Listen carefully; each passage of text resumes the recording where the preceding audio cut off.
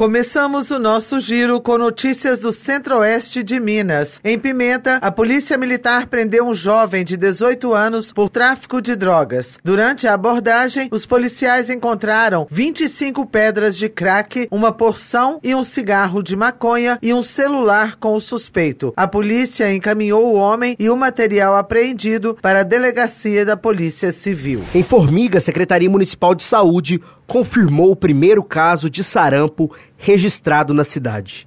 Trata-se de um bebê de 10 meses que não estava imunizado contra a doença. O setor de vigilância epidemiológica fez um apelo para que a população leve as crianças aos postos de saúde para serem imunizadas.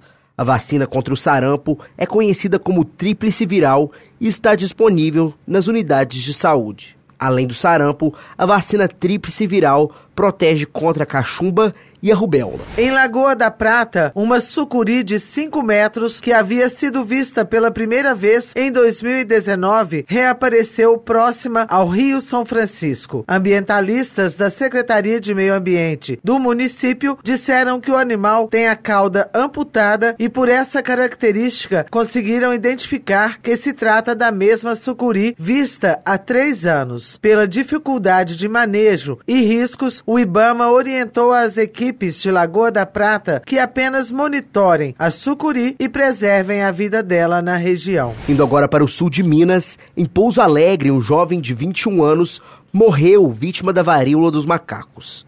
Segundo a prefeitura, a vítima tinha comorbidades e estava internada no hospital desde o dia 11 de setembro. Atualmente no município, segundo a prefeitura, há quatro casos confirmados, um em análise e 45 descartados. Segundo dados da Secretaria de Estado de Saúde, Minas Gerais tem 523 casos confirmados da doença.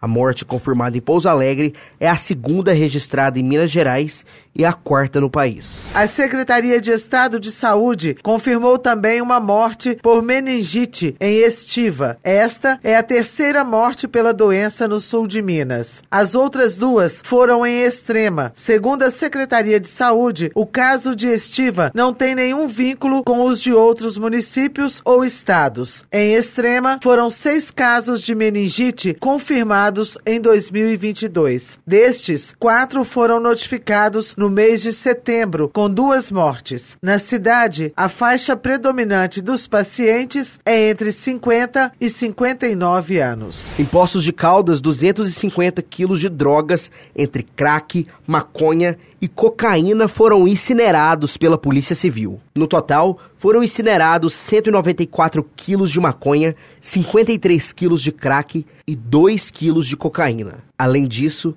também foram incinerados anabolizantes e êxtase. Em Passos, câmeras de segurança flagraram um acidente entre uma motocicleta e um carro que deixou três pessoas feridas. A moto seguia pela avenida quando, na altura de um cruzamento, um carro entra na frente e atinge o motociclista. De acordo com a polícia, o condutor da moto quebrou os dentes e sofreu várias escoriações pelo corpo. A mulher que estava na garupa e o motorista do carro tiveram ferimentos leves. Segundo a polícia, polícia, os dois veículos estavam com os documentos atrasados e nenhum dos motoristas tinham habilitação. Na MG 444, entre Cássia e Capetinga, um homem de 24 anos ficou gravemente ferido em um acidente. O impacto da batida foi tão grande que o carro ficou totalmente destruído e sem o teto. Segundo informações da Polícia Militar Rodoviária, o motorista seguia de Capetinga para Cássia quando perdeu o controle do veículo atravessou a pista e desceu uma ribanceira. O homem ficou com as pernas presas entre as ferragens e por isso apresentava fraturas múltiplas, mas estava consciente. O motorista foi socorrido pelo Corpo de Bombeiros e pelo SAMU e levado de helicóptero para o hospital em Passos em estado grave. Em Boa Esperança, um caseiro de 43 anos foi encontrado morto na propriedade que trabalhava. A suspeita é de latrocínio, que é o roubo seguido de morte. Segundo a polícia militar, criminosos armados teriam rendido dois caseiros em uma fazenda e carregado um caminhão com 20 sacas de café. Um dos caseiros, que foi encontrado com as mãos amarradas às margens da BR 265 disse ter ouvido um barulho de tiro. Na fazenda, a polícia encontrou o corpo de Sidney Henrique da Silva, de 43 anos, dentro de um carro sem vida. Durante o rastreamento, a PM abordou um caminhão suspeito, mas os dois ocupantes fugiram correndo para um matagal. Dentro do veículo foi encontrada uma espingarda calibre 12 com 16 munições intactas. A polícia informou que já sabe quem são os suspeitos do crime e está em intensa perseguição a eles. Mas até o momento, ninguém foi encontrado ou preso. Encerramos o nosso giro com a notícia de Belo Horizonte.